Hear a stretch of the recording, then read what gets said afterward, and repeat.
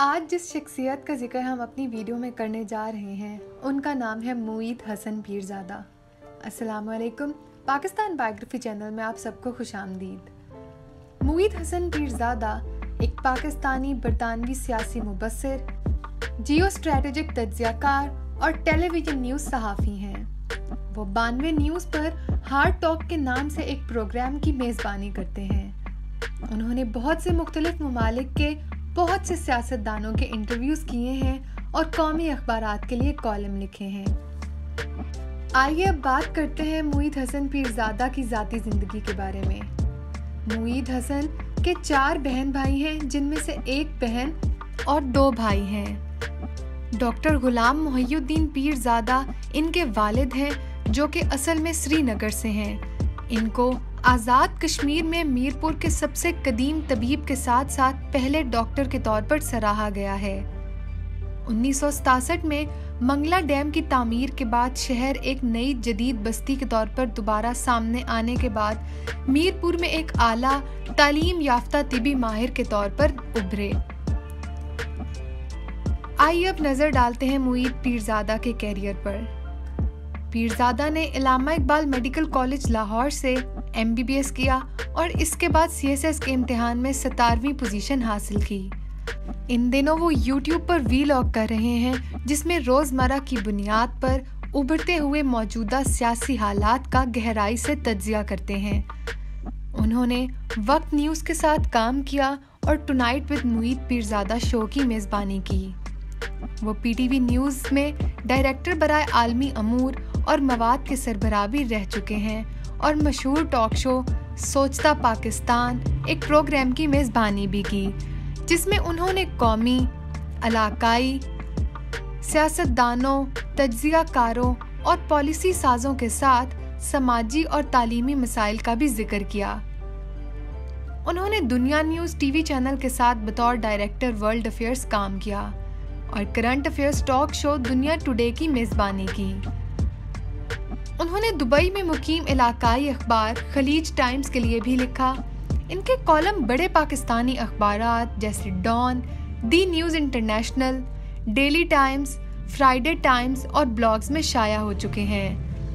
उन्होंने कौमी और बैन अवी कॉन्फ्रेंसों, सेमिनार्स और पॉलिसी वर्कशॉप्स में शिरकत की है और prime ministerial education task force के रुकन भी रह चुके हैं। जिसने ब्रिटिश काउंसिल के साथ मिलकर नेक्स्ट जनरेशन रिपोर्ट तैयार की थी। उन्होंने Islamabad Policy Research Institute, IPRI में पॉलिसी पेपर्स का हिस्सा डाला और पैक मैगजीन के लिए कई पॉलिसी पेपर्स भी लिखे हैं। वो गवर्नेंस एंड पॉलिसी एडवाइजर्स के एग्जेक्टिव डायरेक्टर हैं, जो मीडिया, गवर्नेंस, सेहत की पॉलिसी, तरक्याती तंजीमों और कॉरपोरेट इदारों को मशावरती खदमात फराहम करते हैं। पीरजादा अब 92 न्यूज़ पर प्रोग्राम हार्ड टॉक की मेज़बानी कर रहे हैं। एक टीवी सहाफ़ी के तौर पर उन्होंने पाकिस्तानी और गैर मुल्की नामवर शख्सियात के इंटरव्यूज़ किए हैं, जिनमें Benazir Bhutto, David Cameron, Hamid Karzai, Mahmoud Abbas, William Dalrymple, Jaswant Singh, Richard Holbrooke, Mike Mullen और बरतानवी सियासतदान जॉर्ज गेलवे शामिल हैं। उन्होंने अमेरिका और पाकिस्तान के दरमियान स्ट्रेटेजिक डायलॉग के साथ साथ हिंदुस्तान और पाकिस्तान के दरमियान होने वाले कई मुजाकरात का अहाता किया है, जिसमें 2006 में हवाना में गैर वाबस्ता सरबराही इजलास में हिंदुस्तानी वज़ीर अजम मनमोहन सिंह के साथ पाकिस्तान के सबक सदर परवेज मुशरफ की मुलाकात भी शामिल है। उन्होंने वादी सवात में पाकिस्तानी फौजी कार्रवाई और 2009 में आईडीपी के बहरानों का अहाता किया। सितंबर 2009 में एन डब्ल्यू पीटरसन अपने प्रोग्राम में नमूदार हुए और इस बात की तरदीद की कि अमरीकी security company Blackwater Pakistan में काम कर रही है। एक दावा जो जनवरी 2011 में लाहौर में रेमंड एलन डेविस की हिरासत के बाद गलत साबित हुआ। जब पीरजादा एक तकरीब को मअतल कर रहे थे, जिसमें अमरीकी वज़ीर खारजा हेलरी क्लिंटन ने 21 अक्टूबर 2011 को इस्लामाबाद के सेरीना होटल में पाकिस्तानी सिविल सोसाइटी के नौजवान कारकुनों और कारोबारी अफराद से मुलाकात की तो एक तालब इल्म ने अमरीकी हुकूमत को मदर इन कहकर कहका लगाया। पीरजादा ने अक्टूबर 2009 में टीवी एंकर्स के साथ क्लिंटन की पहली मुतनाज़ पेशी को भी मतदल किया था। जब उन्होंने रिमार्क्स दिए थे कि अगर पाकिस्तानी कैरी लोगर बिल की इमदाद नहीं चाहते तो इन्हें ढिटाई से इसे मुस्तरद कर देना चाहिए। इस वक्त वो एक कामयाब यूट्यूब चैनल चलाते हैं, जहाँ वो असरी सियासी और समाजी पेशरफ पर बाकायदगी से बात करते हैं और अपने तजिए शेयर करते हैं। मुईद पीरजादा, पाकिस्तान में एक मुमताज़ सियासी मुबसर टीवी एंकर, कालम नगार और बासर ब्लॉगर हैं।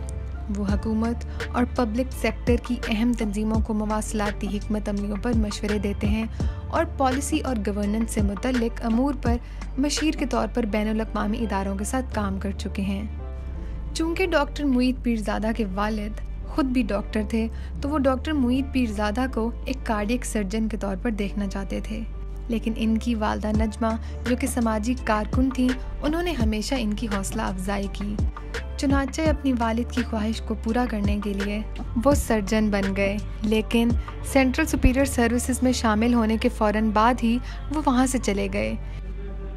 सेंट्रल सुपीरियर सर्विसेज़ ज्वाइन करने के बाद ही वो अपने आप को बहुत घुटन में महसूस करते थे। कोलंबिया यूनिवर्सिटी में बैन अवी ताल्लुक और बाद में लंदन स्कूल ऑफ़ इकनॉमिक्स से कानून की तालीम हासिल की।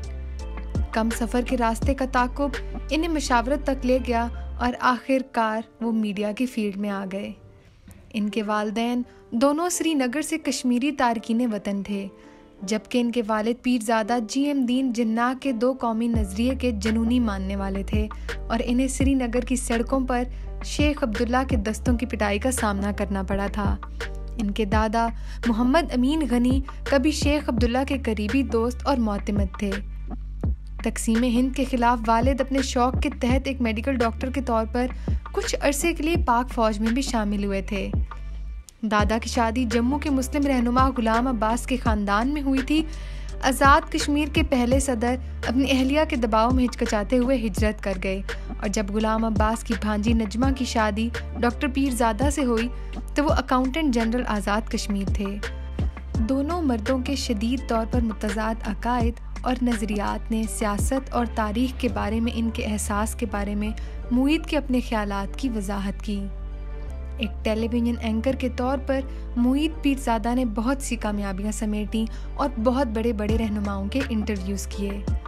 एक सियासी मुबसर के तौर पर वो अक्सर BBC, Al Jazeera N D T V C N N I B N Turk radio और टीआरटी और कई दीगर बैन अवी मीडिया प्लेटफॉर्म्स पर नमदार होते हैं। उन्होंने हकूमत और कॉरपोरेट सेक्टर दोनों के लिए मुख्तलिफ़ पॉलिसी इश्यूज़ पर कई कौमी और बैन अवी सेमिनार्स और कॉन्फ्रेंसों को भी मतदल किया है। वो ब्रिटिश काउंसिल ऑफ़ पाकिस्तान के जेर एहतमाम एजुकेशनल टास्क फोर्स का हिस्सा थे। अली फिलैन महम के सफ़ीर थे। इंतबी अमल पर के सिटीजन ग्रुप के रुकन हैं और US aid John Snow Institute Packard Foundation Leads के लिए मुशावरती असाइनमेंट्स अंजाम दे चुके हैं। Pakistan InterMedia F N F British American Tobacco N D U Friedrich Ebert Commonwealth secretary tower planning commission of Pakistan समेत दीगर इदारों का हिस्सा रह चुके हैं।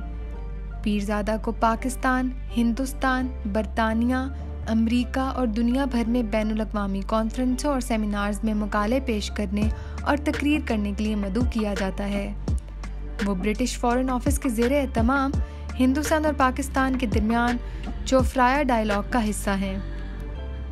और इन्हें कोलंबो और बैंकॉक में गोल में इस कॉन्फ्रेंस पर मदू किया गया था। इन्हें Harvard Georgetown Columbia, National Defence University Lahore university जैसी मुमताज़ यूनिवर्सिटियों के तलबा और फैकल्टी से बात करने के लिए मदू किया जाता है।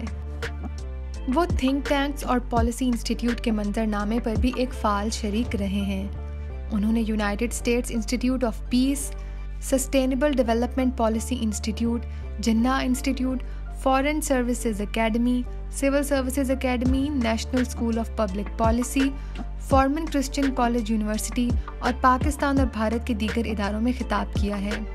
इनके television programme Awaz TV P K politics gem TV और दीगर वेब पोर्टल्स जैसी वेबसाइट्स पर महफूज किए जाते हैं। Moeed Pirzada London School of Economics and Political Science में बरतानिया ट्यूनिंग स्कॉलर रहे हैं, जहाँ उन्होंने मीडिया एंड इंटरनेट रेगुलेशन की तालीम हासिल की है। School of International and Public Affairs Columbia University New York में international finance and economic policy की तालीम भी हासिल की है। तो नाजरीन, ये थी डॉक्टर मुईद पीरजादा की सवान हयात उम्मीद है आपको हमारी बाकी वीडियोस की तरह ये वीडियो भी पसंद आई होगी। अगर आपको हमारी वीडियो पसंद आई है तो इसको लाइक और शेयर करना मत भूलें। साथ ही साथ हमारे चैनल पाकिस्तान बायोग्राफी को सब्सक्राइब भी कर दें और बेल आइकन को क्लिक करना मत भूलें ताकि आप हमारी हर नई आने वाली वीडियो से मुस्तफ़ हो सकें। बहुत शुक्रिया।